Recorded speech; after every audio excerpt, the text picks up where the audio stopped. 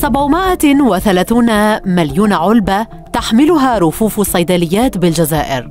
470 مليون منها مصنعة محلياً.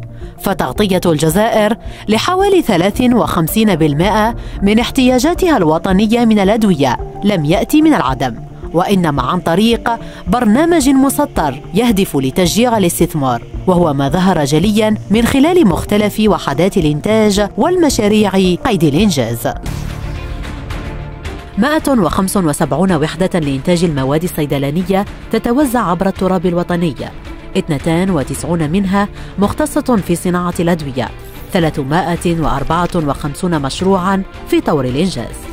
74 مشروعا منها في مرحلة جد متقدمة من الإنجاز. أرقام جاءت جراء عديد التحفيزات التي منحتها الحكومة لكل من يتوجه للاستثمار في القطاع الصيدلاني. فرصة لم يتردد العديد من المصنعين من اغتنامها خاصة ما تعلق بمنح العقار الصناعي. 2008 الجزائر كانت تصنع تقريبا 450 مليون دولار سنويا. واليوم عشر سنوات من بعد رانا نصنعوا زوج مليارات دولار. يعني الصناعة الدوائية القيمة تاعها تاع المنتوج الوطني تضرب في أربعة استثمارات أخرى دفعت بقدرات التصنيع في المجال الصيدلاني للارتفاع من 25% سنة 2008 إلى 65% سنة 2018 وذلك نتيجة عدة إجراءات تم اتخاذها أهمها إيقاف استيراد الأدوية المصنعة محلياً الأمر الذي دفع بتوفير 1 مليار دولار من فاتورة استيراد الأدوية.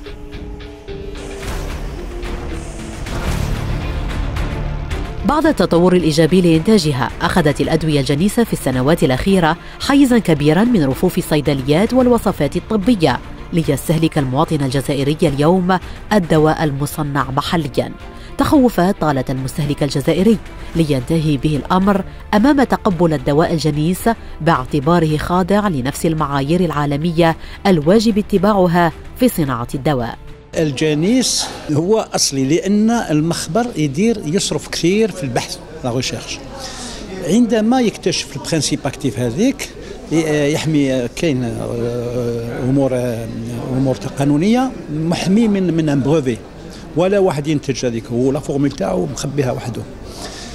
بعد ما سنوات بأسعار مرتفعة يعوض المصاريف اللي صرفها في البحث. من بعد هذاك يولي جنيس la formule في إنترنت أي واحد تلقاها تلقاها لأن استرجع الأموال الضخمة اللي مدها في البحث. Un médicament, s'il n'est pas bon, on le jette. On ne peut pas dire ce médicament, je préfère celui-là à celui-là. Aujourd'hui, nous avons, on, a la chance d'être dans un pays où il n'y a pas de contrefaçon de médicaments. La contrefaçon est très très très très minime. Donc euh, c'est quand même un plus pour le pays. Parce que si, si, dans certains pays on dit que ce générique n'est pas bon, c'est parce que les organes de contrôle ne sont pas assez efficaces dans le pays en lui-même. Et alhamdoulilah, chez nous, on a des organes de contrôle qui sont le laboratoire national de contrôle euh, de qualité, qui est assez important et très bien doté pour pouvoir s'assurer que toutes les marchandises qui rentrent en Algérie, qui sont fabriquées en Algérie, sont des produits de qualité.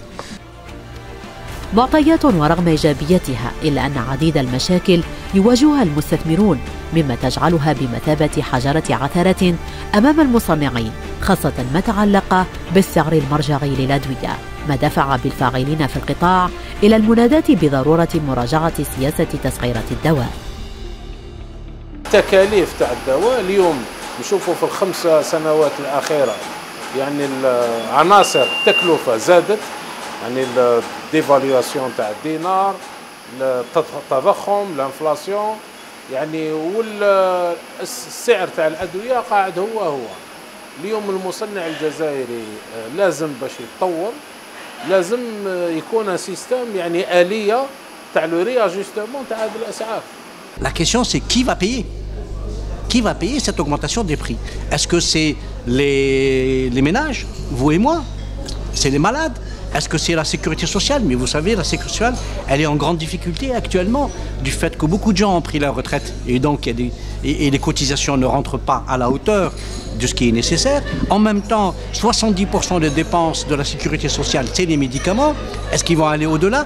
Donc c'est toute cette difficulté de concilier des intérêts et euh, des, tendances qui sont euh, contradictoires et difficiles à, amener. Donc il y a nécessité de repenser, de revoir la politique pharmaceutique et la politique des prix des médicaments pour trouver un équilibre et un arbitrage entre tous les acteurs concernés.